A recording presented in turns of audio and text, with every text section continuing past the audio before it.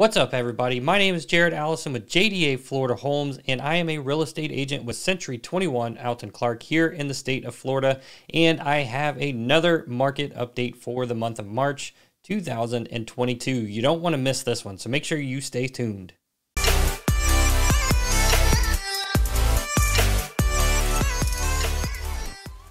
All right, everybody. Before I jump into the housing market update, I want to clear the air real quick. Yes, I do have a black eye. I got it playing basketball this past weekend.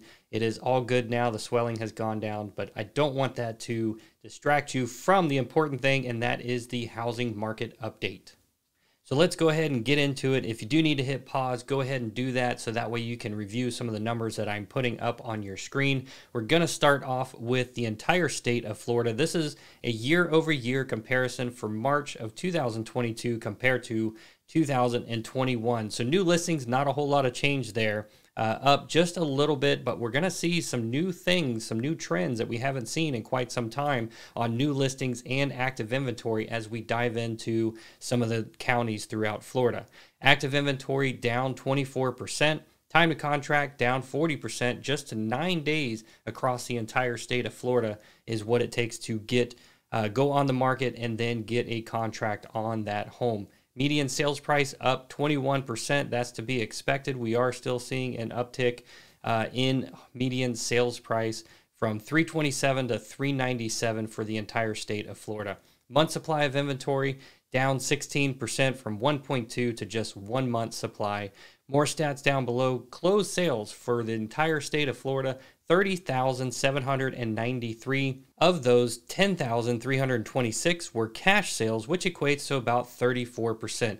Now let's take a look at that graph I have on the left hand side. New listings, active inventory, and a new one that I've added is closed sales so we can see the trends of each one uh, going back to June 2020. And then right now from February to March, we've seen an uptick uh, in closed sales, active inventory, and new listings from February to March. Next up is Volusia County for March 2022. Now, take a look at the new listings. We are up 10%. This is not a trend that we've seen in the past where we've had that big of a number uh, in the green. So, new listings are up 10%. However, active inventory is still down at 13% from 943 to just 823 Time to contract is down 36% from 14 days to just 9 days on the market. Median sales price is still up 20% from 274 to 330,000. Month supply of inventory down again 18%, not quite as bad as what it's been in the past. Uh, from 1.1 to just 0.9 months supply of inventory. More stats down below. Closed sales for Volusia County 1,077. Of those, cash sales were 338, which equates to about 31%. Take a look at that graph on the left hand side where I show new listings, active inventory, and a new one closed sales. You can see the trends dating all the way back to June 2020. Now we're moving into Seminole County for March of 2022. New listings, not a whole lot of change there. Active inventory uh, down 18% from 403 to just 328 active homes for sale in the entire county. Time to contract down 38% from eight days. Look at this, down to just five days. That median sale per or median time to contract down to five days, less than a week. Uh, you you put it on the market on a Monday, you should be under contract by Friday. That is amazing. Median sales price is up 20% from 348 to 417,000. Month supply of inventory again it is down 25% from 0.8 months to 0.6 months, almost a half month supply, about 16 days worth of homes that are available on the market right now in Seminole County. More stats down below 557 closed sales, 150 of those were cash sales, and that equates to about 27%. Take a look at the graph on the left where you can see a pretty significant uptick over the past few months in new listings, active inventory, and closed sales. So new listings and closed sales have the biggest upward trend, whereas active inventory has a little bit of an upper trend, but uh, not quite as much as what the new listings are. Moving on to Orange County, March 2022, new listings are down 7%, been a pretty steady trend that we've seen on the year over year comparison. From 1693 to 1583 new listings is what it is this year. Active inventory is down 13% from 1204 to just 1046. Time to contract, again, another uh, significant decrease, 46% compared to what it was this time last year. Looking at 11 days last year and now sits at six days. That's not a lot of time for your house to be on the market. Median sales price is up 21% from 365 to 441,000, breaking that 400,000 threshold. Month supply of inventory is down 22% from 0.9 to just 0.7 months supply. More stats down below 1,421 closed sales for Orange County. 434 of those were cash, which equates to about 31%. Go ahead and take a look on the graph on the left, and you will see the upward trends of all three categories new listings, active inventory, and closed sales. Alrighty, my Lake County friends and family, take a look at this one. New listings are up a whopping 16% from 733 to 848 compared to what it was this time last year. That is the biggest upward trend on a year over year comparison that we have seen in the past couple of years. Active inventory is also up 5% from 517 to 542 homes actively on the market. Time to contract, again, the same trend that we've been seeing, down 39% from 13 days to just eight days on the market. And median sales price, a huge jump up 31% compared to March 2021. It was $284,000. Now it sits at $371,000.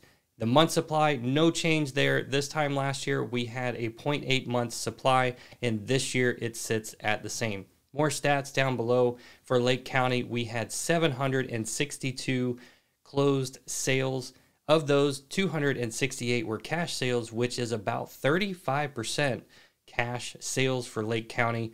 Take a look at that graph on the left where you can see new listings and closed sales have the biggest upward trend, and active inventory shows a little bit of an upward trend, but not quite as significant as new listings and closed sales. Up next is Brevard County. So take a look at this one as well. New listings are up a astonishing 14% from 1,094 to 1,243 new listings for March 2022. Active inventory is down 12%. It currently sits at 712 active homes for sale in Brevard County. Time to contract is down 20% from 10 days to just 8 days on the market. Median sales price, the same trend we've been seeing across the board, up 24% from $280,000 to $348,000. Moving on to month supply of inventory is down 22% from 0.9 months supply to just 0.7 months supply of inventory. More stats down below. Closed sales 1,057, 293 cash sales. That equates to about 28% of the total closed sales were cash.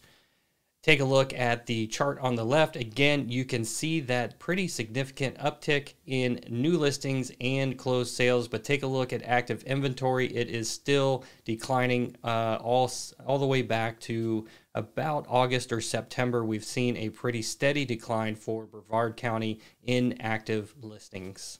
All right, we have Osceola County next, and new listings. I think this one takes the cake for the ones that I've covered so far, up 22% on new listings from 772 to 941 new listings for March of 2022.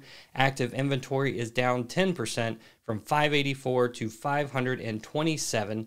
Time to contract again down 61% from 18 days on the market to just 7 days on the market. That's a week to have your home on the market before you should have a contract. Median sales price is up 29%. That is pretty significant, going from $310,000 to $401,000. Month supply of inventory this time last year was one month supply. We now sit at a 0.8 month supply, making it a 20% decrease year over year. More stats down below. We had 780 closed sales. Of those, 248 were cash sales, and that equates to about 32%.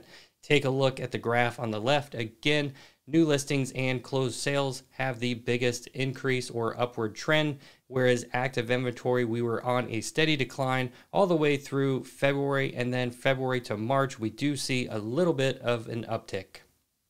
And the last county I'm going to cover today is Polk County. So take a look at this. Again, new listings and active inventory are both in the green on a year over year comparison. New listings up 11%, active inventory up 13%.